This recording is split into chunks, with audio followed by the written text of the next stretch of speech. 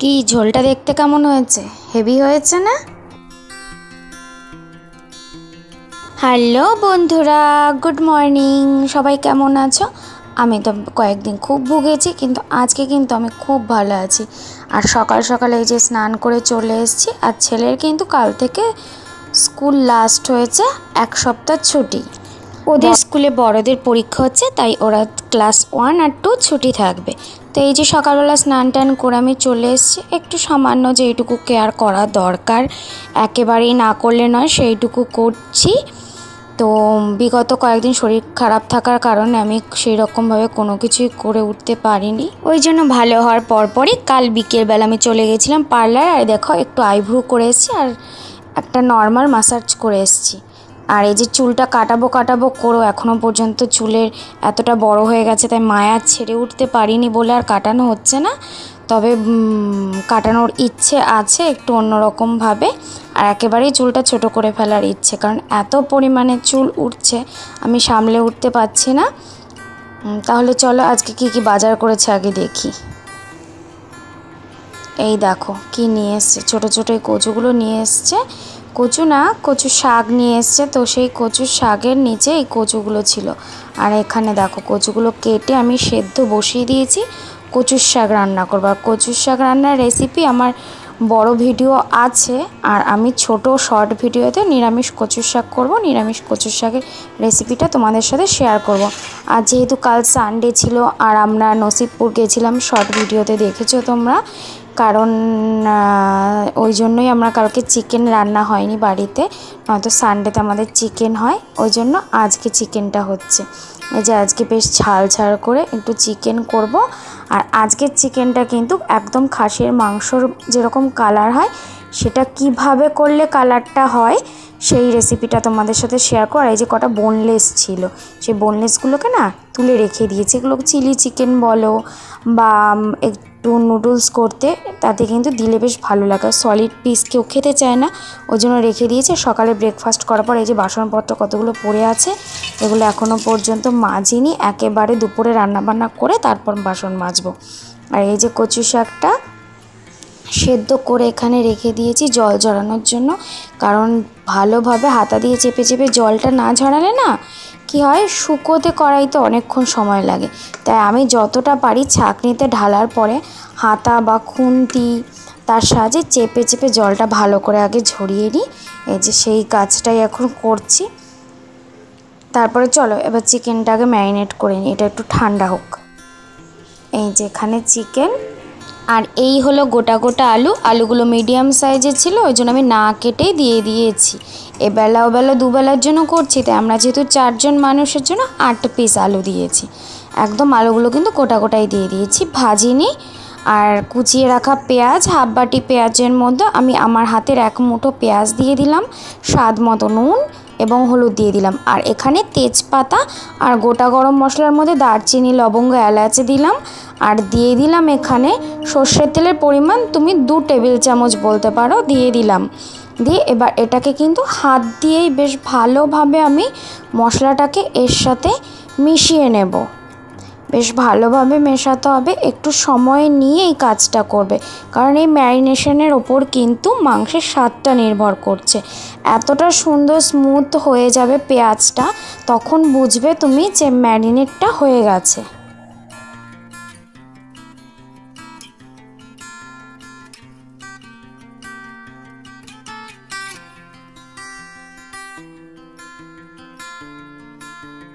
আলুগুলো দেখো, সাদা রং ছিল, ম্যারিনেশনের পর কিন্তু আলুগুলোর কালারটা দেখো শুধু কতটা সুন্দর হয়ে গেছে। তো ম্যারিনেশনের পর ঢাকনা দিয়ে আমি রেখে দেব, যতক্ষণে মশলা বাটবো ততক্ষণ ম্যারিনেশনটা ভালো মতো হয়ে যাবে। কড়াইতে দিয়ে দেবো আমি সর্ষের তেল, আবারও দু চামচ বলো বা তিন চামচ মতন সর্ষের তেল এতে দিয়ে দেব। এইবারে গ্যাসের ফ্লেমটা আমি একদম কমিয়ে রেখে এতে দিয়ে দেবো মেথি ফোড়ন। মেথিটা ফোড়ন দেওয়ার পর এখানে কুচিয়ে রাখা যে বাকি পেঁয়াজটা আছে, সে বাকি পেঁয়াজটাকে এতে দিয়ে দেবো। পেঁয়াজটাকে দিয়ে আমি ভাজতে থাকব। ঠিক ততক্ষণ ভাজবো যতক্ষণ না পেঁয়াজটা একটু লালচে ভাব আসছে।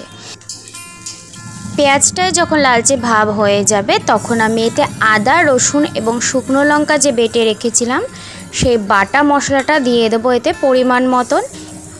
ঠিক তারপরে আমি এতে দেব টমেটো বাটা। টমেটো বাটাটা কিন্তু আমি টমেটোটাকে সেদ্ধ করে তারপর বেটে নিয়েছি।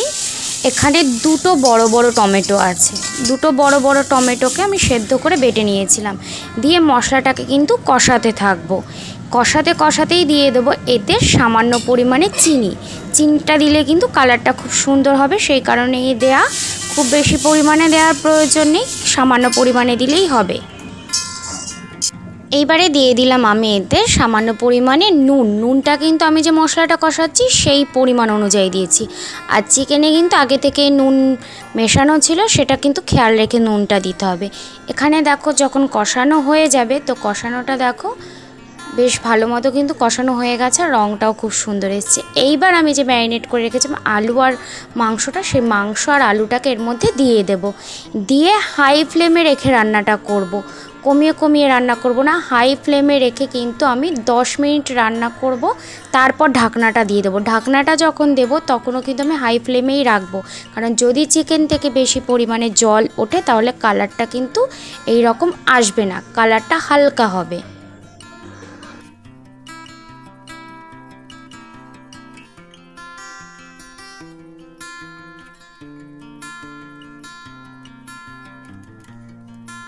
আবারও ঢাকনাটা দিয়ে দিলাম। এবার আমি পাঁচ মিনিট রান্না করব।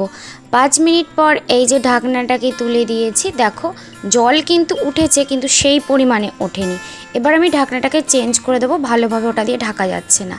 এই ঢাকনাটা দিয়ে দিলাম, এবার আমি ওপর থেকে দেখতেও পাবো যাতে কড়াইয়ের তলায় ধরে না যায় আর ঠিক কত পরিমাণে জল উঠছে। বারে বারে আমি এরকম উল্টে পাল্টে রান্না করব, কিন্তু হাই ফ্লেমে করব রান্নাটা। আর মাংস আর আলুটা ম্যারিনেট হয়ে বেশ খানিকক্ষণ ছিল, ওই কারণে কিন্তু অনেকটাই সফট হয়ে গেছে। আর বাকিটা আমি চিকেনের যে ঝোলটা দেবো, সেটাতে ফুটিয়ে নেব। তাই হাই ফ্লেমে রান্না করব।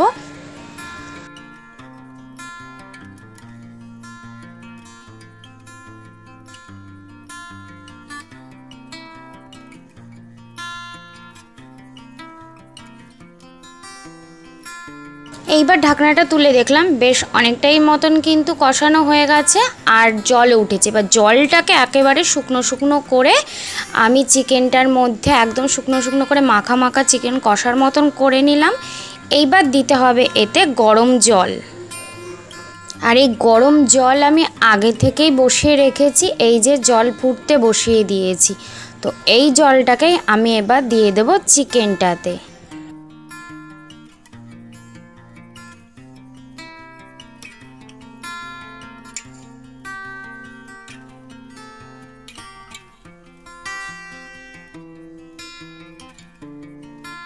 জলটাকে দিয়ে আমি বেশ ভালোভাবে মিশিয়ে নিচ্ছি। পুরোটা জল এখনও দিইনি, অর্ধেকটা জল দিয়েছি। দিয়ে আগে ভালো করে মিশিয়ে নিচ্ছি, তারপর বাকি জলটা দেব।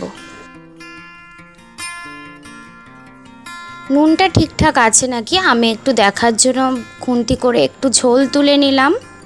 যেহেতু আরেকটু জল দেব আমি, তাই সামান্য পরিমাণে আরেকটু নুন দিয়ে দিলাম। নুনটা দিয়ে বেশ ভালোভাবে মিশিয়ে নিলাম, কারণ চিকেন কিন্তু এখনও দশ মিনিট ফুটবে। সেই জন্য নুনটা দিয়ে ভালোভাবে মিশিয়ে নিয়ে আমি দিয়ে দিলাম আরেকটু গরম জল।